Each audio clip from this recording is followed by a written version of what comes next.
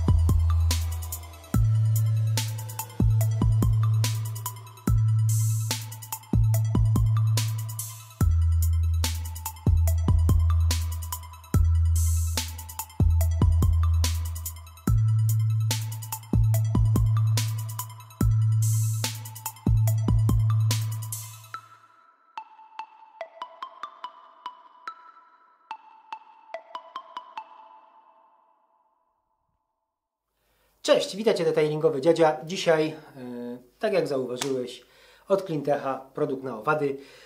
Pobawiłem się nim trochę i teraz to jest, co jest ciekawsze, słuchaj. Yy, dwa sezony. Z tego względu, że w jednym zacząłem i później już niestety yy, nie miałem czasu i zaczął się sezon jesienno-zimowy, więc tych owadów było zdecydowanie mniej, a nie będę robił testu na trzech owadach. Przyszłe, przyszedł nowy rok, wiosna, lato, i słuchaj, ja nim się wcześniej trochę jeszcze pobawiłem i takie miałem mieszane, mieszane uczucia. I skoczyłem później, tak jak zauważyłeś, z pianownicy. No fajnie siedzi, z pianownicy siedzi bomba. Naprawdę fajnie. I teraz tak, co do produktu. E, z tego co kojarzę, chyba producent tam zaleca jakieś rozcieńczenia i jeżeli rozcieńczymy produkt, no szału nie ma, szału nie ma. Dopiero właśnie w koncentracie, jak się go liźnie y, z pianownicy, zaczyna się coś kombinować, zaczyna się konkretna sprawa, czyli usuwanie owadów. Na Audi, słuchaj, jest słabe zabezpieczenie, ale i tak sobie całkiem nieźle poradził. Czy produkt jest fajny?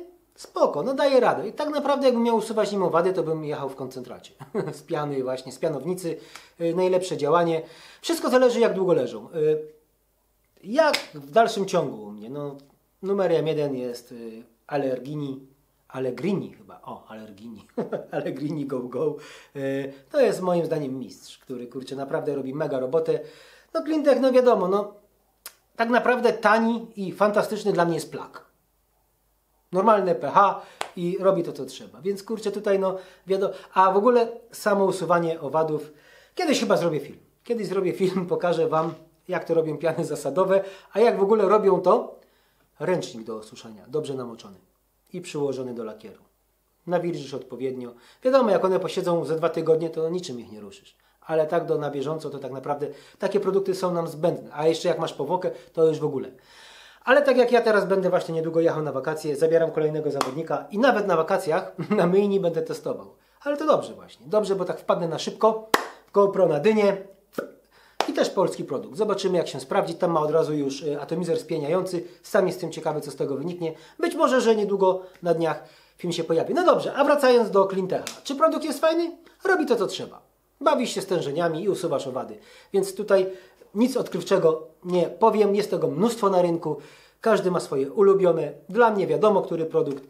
I z mojej strony to wszystko. Dzięki za obejrzenie. Do zobaczenia. Do usłyszenia. Cześć!